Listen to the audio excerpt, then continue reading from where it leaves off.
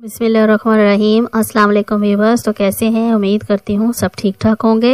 अल्लाह ताला से दुआ है कि अल्लाह ताला हम सब के दुख, दर्द और परेशानियों को दूर करे और जो बीमार हैं, अल्लाह ताला उनको सेहत दे। आमीन। सुम्मा आमीन। आइए वीडियो की तरफ़ चलते हैं।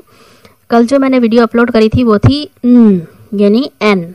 आज नेक्स्ट वीडियो के बारे में, वीडियो में मैं बता रही हूँ आपको नेक्स्ट लेटर के बारे में कि आज हम कौन सा लेटर पढ़ेंगे, इसकी फॉर्मेशन क्या है, इसके साउंड क्या है, ये लाइन्स आज मैंने पहले से ही लगा ली हैं।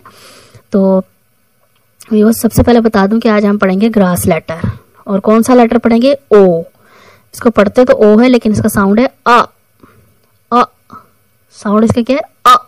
रुक के आपने पढ़ना है। और ग्रास लेटर हम पढ़ेंगे तो आइए इसकी फॉर्मेशन की तरफ़ चलते हैं। इसकी फॉर्मेशन मैं आपको बता देती हूँ कि इसकी फॉर्मेशन क्या है। ये इसका स्टार्टिंग पॉइंट है, इसकी फॉर्मेशन बहुत ईजी है। सर्कल सिंपल सी फॉर्मेशन है। दोबारा से मेरे साथ पढ़ें।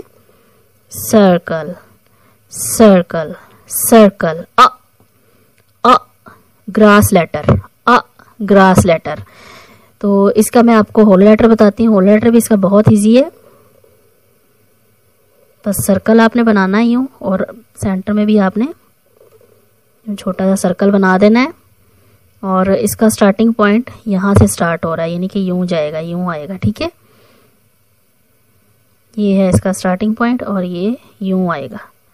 यूँ घुमा के इसी डॉट के साथ इसको आ, हमने अटैच कर देना है। तो आइए इसको फिल कर लेते हैं। कौन सा लेटर है ये हमारा? स्काई सॉरी ग्रास लेटर है। तो हमने कौन सा मार्कर यूज़ कर रहे हैं? ग्रीन मार्कर यहाँ से स्टार्ट करेंगे। सेमी सर्कल मेरे साथ पढ़े। सेमी सर्कल ठीक है? ये हो गया हमारा सेमी सर्कल इसी तरह से आप वो बॉक्स बनाएँ।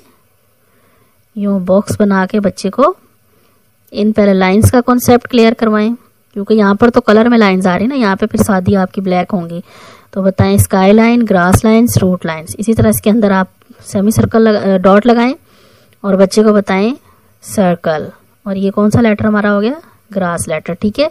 जिस तरह से मैंने आपको बताया था कि आप फिर कलर पेंसिल लेके बच्चे से कलर पेंसिल से भी आप इसको कलर करवाएँ, ताकि बच्चे को अच्छी तरह से समझ आ सके कि ये हमारा कौन सा लेटर है।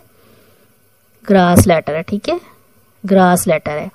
आप चाहें तो मार्कर के साथ आप अलग से यूँ ग्रास बना के बच्चे को उसके अंदर भी फिल करना बताएँ। यूँ कलर करवा दें अंदर। तो बच्चे को डेफिनेटली पता चल जाएगा कि ये ग्रास है। तो ये कौन सा लेटर हो गया? ग्रास लेटर अ इसका जो मैग्नेट वाला लेटर है, वो भी आप साथ ही रखें, ठीक है? ये यूँ साथ रख के इसकी फॉर्मेशन बच्चे को बताएँ। सर्कल टेबल पे बताएँ, हवा में बताएँ। सर्कल ठीक है? ये मैग्नेट है, इसके साथ लगा हुआ। आप चाहें तो इसको किसी लोहे वाली चीज़ पे भी चिपका के बच्चे को बताएँ।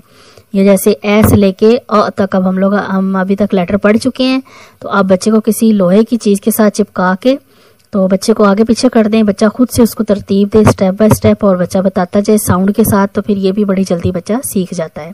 इसकी पिक्चर्स के साथ देख लेते हैं कि इसकी पिक्चर जो ओ की साउंड आ रही है, वो किस तरह से आ रही है।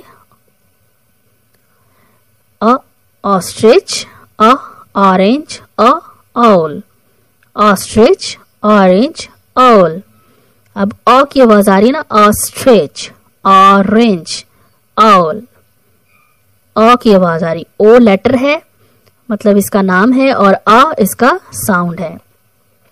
उम्मीद करती हूँ व्यूवर्स आपको मेरी वीडियो पसंद आई होगी।